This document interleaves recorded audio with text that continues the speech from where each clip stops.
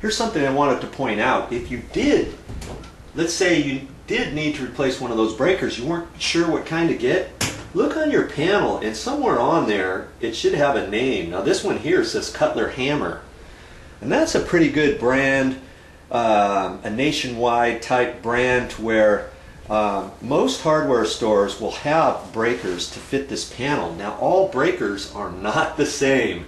Okay, you can't just go to the store and and get a circuit breaker and and one circuit breaker fits all panels. It's just not the case. Okay, so be careful with that when you get ready to replace a breaker. Let's just say you needed to replace one of these breakers. See, uh, most of the time you can't just look on the face of this and see a name.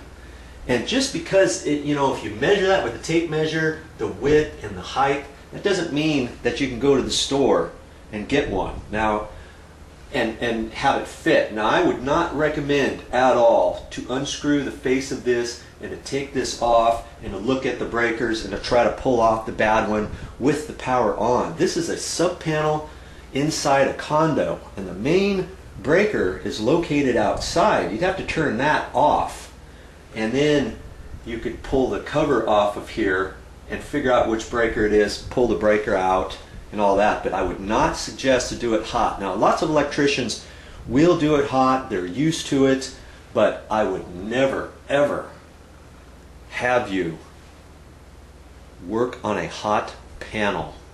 Very bad.